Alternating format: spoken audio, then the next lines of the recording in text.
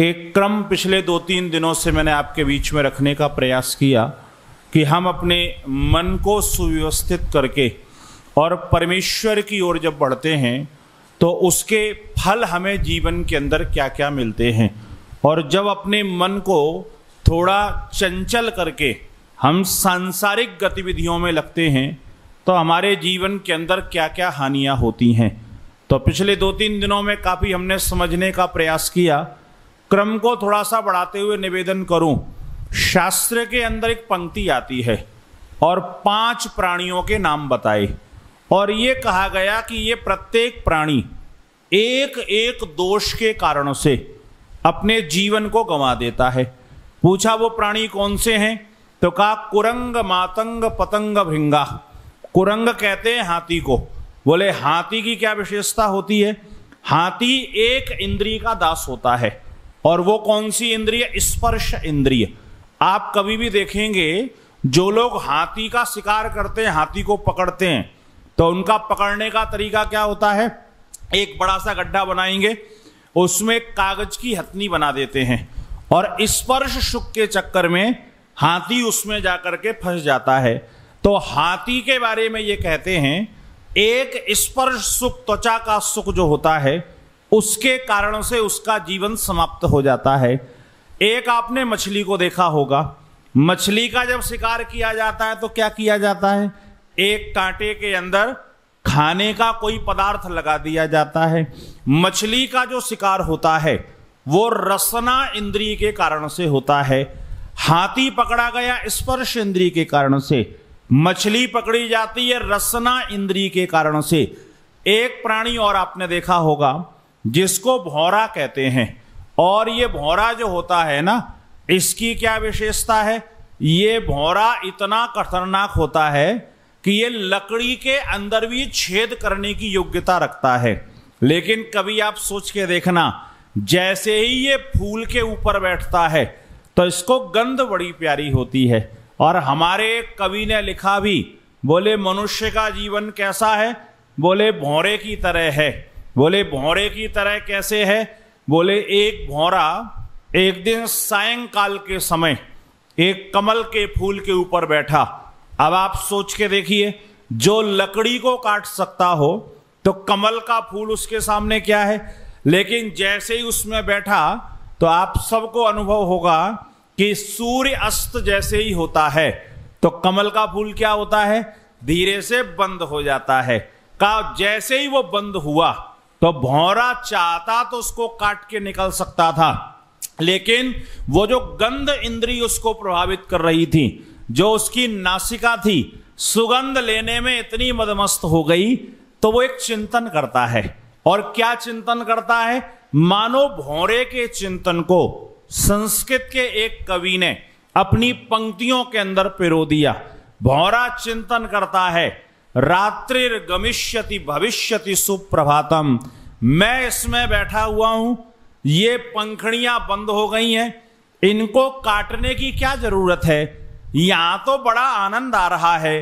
एक तो फूल की कोमलता, ऊपर से उसकी सुगंध तो चिंतन करता है कि रात्रि गमिष्यति, भविष्यति सुप्रभातम। ये रात व्यतीत होगी, फिर से तो सवेरा होगा ना? और जैसे ही सवेरा होगा, सूर्य देवता का आगमन होगा तो ये जो फूल बंद हुआ है ना, ये फूल अपने आप खुल जाएगा।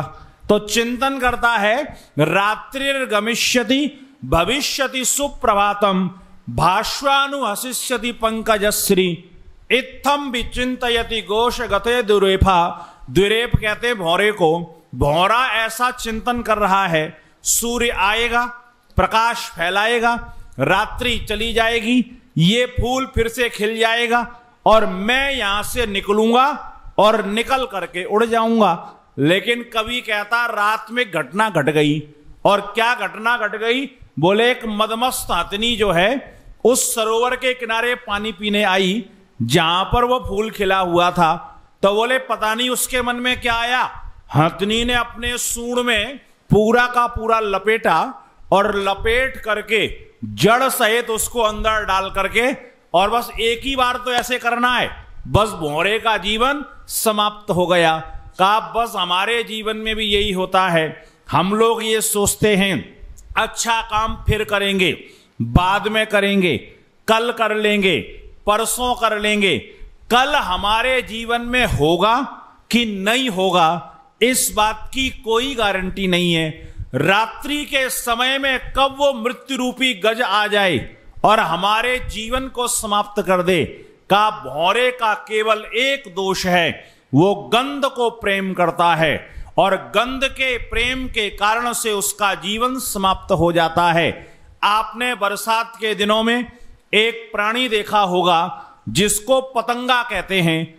पतंगे की विशेषता क्या होती है? जिधर भी अग्नि देखता है पतंगा उसकी तरफ़ को भगता है। लाइट का प्रकाश देखेगा, उधर को भागेगा। जलती हुई अग्नि देखेगा, का उसकी विशेषता क्या है? का वो रूप को पसंद करता है। और रूप को पसंद करने के कारण से पतंगा का जीवन जो है समाप्त हो जाता है। और एक पांचवा प्राणी बताया, जिसका नाम हिरण है। हिरण को जब शिकार किया जाता है तो मधुर संगीत उसको सुनाया जाता है। कान का जो सुख है, उसको बहुत अच्छा लगता है। बोले, एक प्राणी स्पर्श सुख के कारण से जीवन समाप्त कर ले रहा है। एक प्राणी जो है, वो रसना सुख के कारण से जीवन समाप्त किए ले रहा है। एक प्राणी जो है, वो गंध सुख के कारण से जीवन समाप्त कर ले रहा है। एक प्राणी जो है, वो कानों के सुख, शब्द सुख के कारण से जीवन समाप्त कर ले रहा है। और एक प्राणी ऐसा है, जो आँखों के सुख के कारण से अपने जीवन को समाप्त कर ले रहा है। वहाँ पर शास्त्रकार समझाता है एक एक सुख के चक्कर में पड़ के उन प्राणियों का जीवन समाप्त हो गया। अय मनुष्य, तेरे जीवन के अंदर तो ये पाँचों की कामना है। तू ये पाँचों को चाहता है तो हमारे साथ क्या होने वाला है? जब एक एक के कारण से उनका जीवन खत्म, और जब पाँचों हमारे पास में हो तो हमारे जीवन की स्थिति क्या बनने वाली है? जीवन तो फिर खत्म ही होने वाला है। इसलिए शास्त्रकार ने कह दिया, जय दादो स्वकम मनहा। आप सबसे पहला काम ये कीजिए। ऐसा नहीं है कि आँखों का सुख लेना मना है। या नाक का सुख लेना मना है, या रसना का सुख लेना मना है, या कान का सुख लेना मना है, लेकिन सुख कैसे लेना है? जैसे आपने मधुमक्खी को देखा होगा ना, शहद के ऊपर जब बैठती है तो आराम से रस लेती रहती है। अच्छा मधुमक्खी ये सोचे कि मैं इसके अंदर घुसूँगी और शहद के अंदर से सुख लेके आऊँगी तो मधुमक्खी के जीवन का क्या होगा? उसका जीवन समाप्त हो जाएगा। ऐसे ही जो व्यक्ति इन पाँचों इंद्रियों का सुख जितना आवश्यक है, उतना लेता रहता है।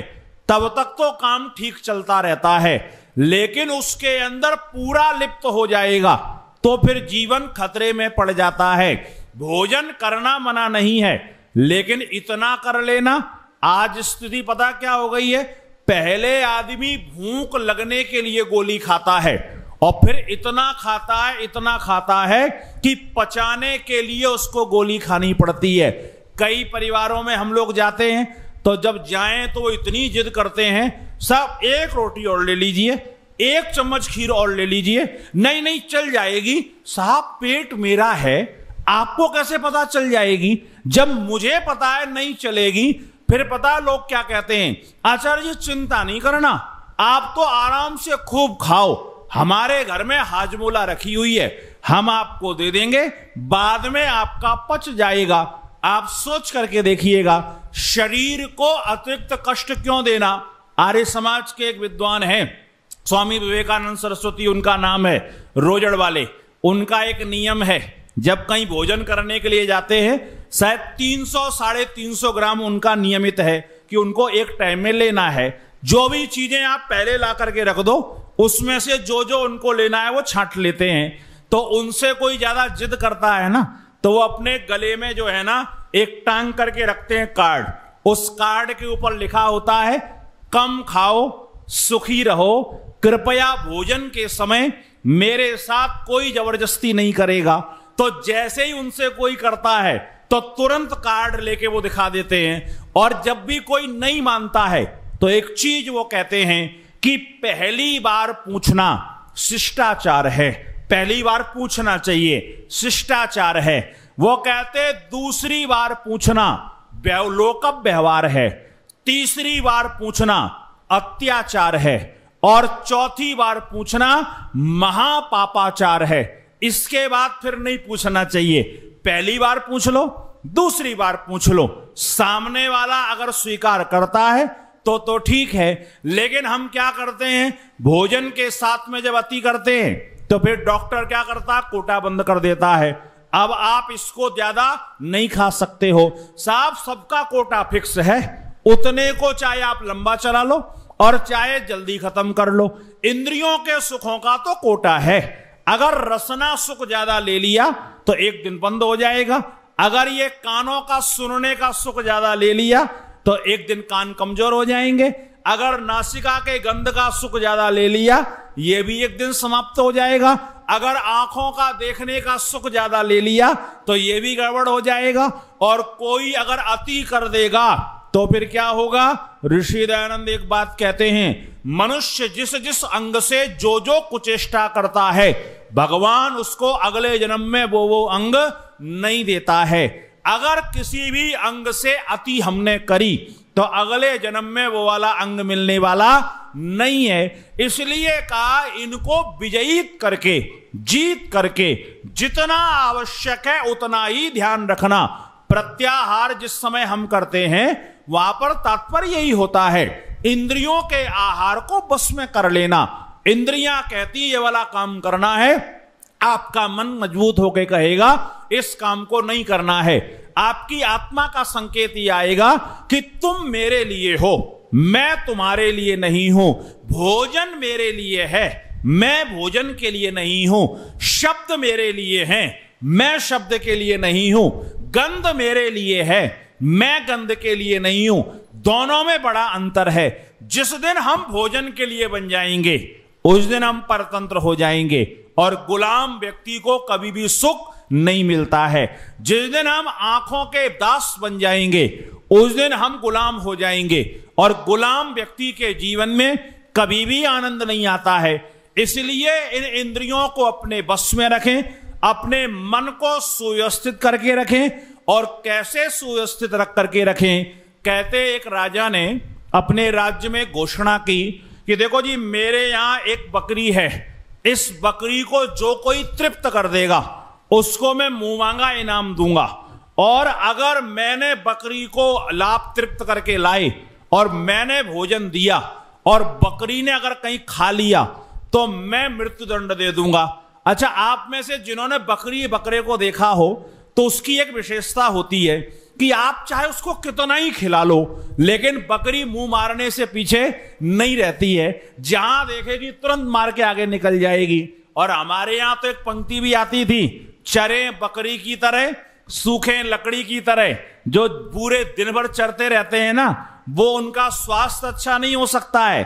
तो उन्होंने कहा, इस बकरी को कोई तृप्त कर दे। तो साहब, हर कोई कहे, कितना ही खिला लो। बकरी को तो मुँह मारना ही मारना है। तो एक व्यक्ति के मन में पता नहीं क्या आया। उसने कहा, महाराज, मैं तृप्त कर दूँगा।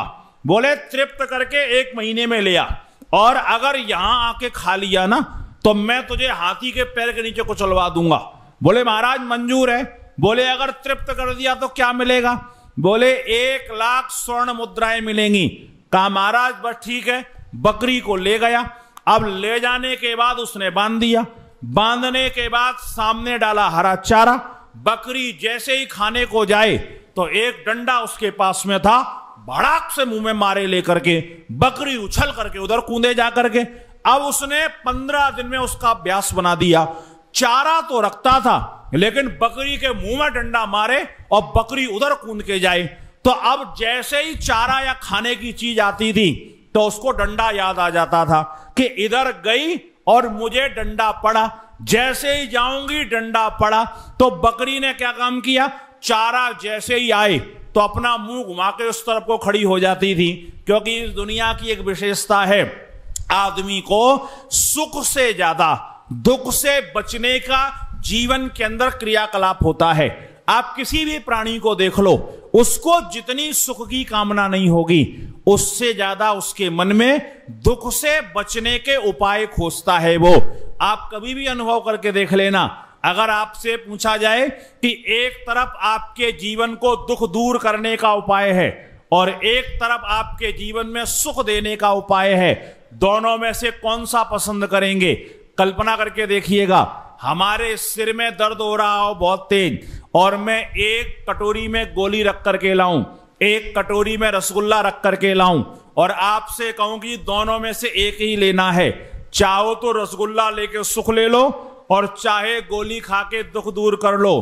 तो ईमानदारी से सोच के देखिए क्या उठाना पसंद करेंगे। रसगुल्ला उठाना पसंद करेंगे। आप कहेंगे, नहीं जी पहले दर्द हो रहा है ना, इस दर्द को समाप्त करने का कोई उपाय बताइए। ऐसे ही बकरी को जब डंडा पड़ने लगा तो वो चारे का सुख भूल गई, डंडे का दुख उसको याद हो गया।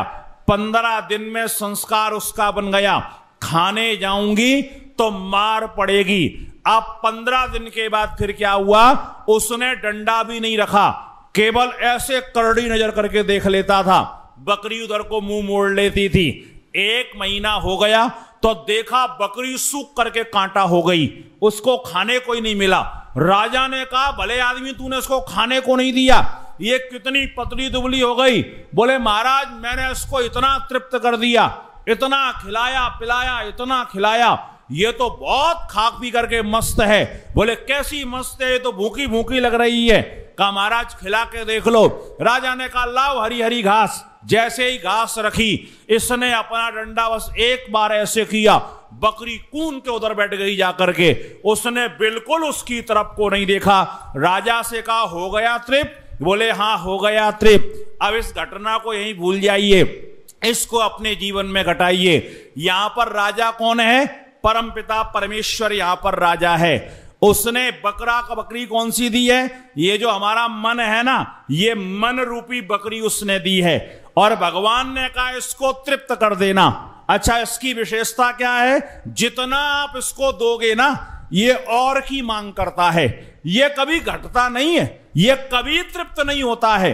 अगर तृष्णा में आप आ गए ना तो शास्त्रकार ने कह दिया, तृष्णा न जीर्णा बैमे व जीर्णा। तृष्णा कभी समाप्त नहीं होती है। ये और की चाहना, आज तक तो किसी की समाप्त नहीं हुई है। और इसीलिए शास्त्रकार को कहना पड़ा, ना वित्ते न तर्पणियों मनुष्य, इस धन संपदा ऐश्वर्य से आज तक कोई भी तृप्त नहीं हुआ है। और ना आगे तृप्त होने वाला है, क्योंकि इसके आगे और लगा हुआ है। आप कभी अनुभव करके देखिए, अगर व्यक्ति के पास में निन्यानवे रुपए हैं तो कामना यही होती है, बस ये सौ हो जाएँ।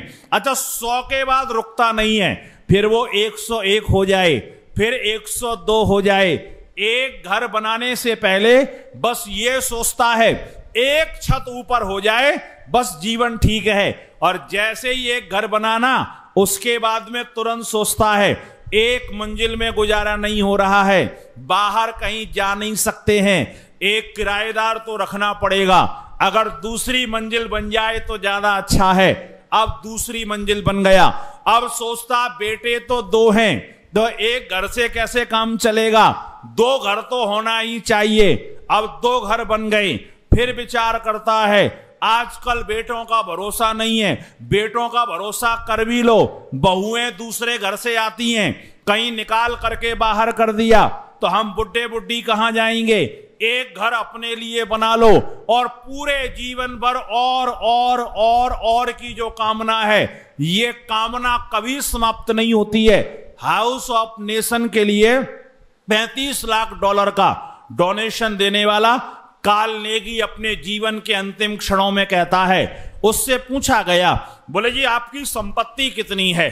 तो वो कहता है, मेरे पास दस खरब डॉलर की संपत्ति है। कितनी है जी? दस खरब डॉलर। आपके करनाल में एक आध कोई होगा, जिसके पास दस खरब डॉलर की संपत्ति हो तो पत्रकारों ने उससे पूछा, बोले, महाराज, अब तो संतुष्ट हो गए ना? दस खरब डॉलर आपके पास में आ गए। तो पता है उसका उत्तर क्या था? बोले, नब्बे खरब डॉलर और होते तो और अच्छा होता। अभी तो मैं कुछ भी नहीं कमा पाया। हमारे ऋषि कहते हैं, उसके पास अगर 90 खरब डॉलर और होते तब भी उसको यही कहना था कि इतना और होता तो और अच्छा होता। ये जो तृष्णा होती है, ये जो मन का विकृतपना है, ये मनुष्य को कहाँ ले जाकर के पटकेगा, इसका हमें कोई पता नहीं है। ऐसी जगहों पर ले जाकर के पटकता है। एक नाम आपने भरतरी हरि का सुना होगा दुनिया के अंदर वो राजशक्ति की भी प्रतिनिधित्व करते थे और विद्वत्ता के अंदर पराकाष्ठा थी। संस्कृत व्याकरण का सबसे पहला दर्शन लिखने वाला कोई व्यक्ति है तो वो भरतरी हरि था। भरतरी हरि ने बागपदियम नाम की पुस्तक लिखी। भरतरी हरि ने महर्षि पतंजलि के महाभाष्य का सबसे पहला व्याख्याकार अगर कोई हुआ तो भरतरी हरि हुआ। उन्होंने सौ श्लोक नीति के जो लिखे हैं नीति शतकम के नाम पर पूरी नीति उसके अंदर उड़ेल दी। सौ श्लोक श्रृंगार शतक के ऊपर लिखे और श्रृंगार शतक के ऐसे श्लोक लिखे जहाँ स्त्री के सौंदर्य का ऐसा वर्णन किया है, कलम तोड़ दी, लेकिन जब सौ श्लोक वैराग्य शतक के लिखे तो इस पूरी दुनिया को यह दिखा दिया कि दुनिया के अंदर कुछ नहीं है, सारा का सारा बेकार है, इतना अद्भुत व्यक्ति।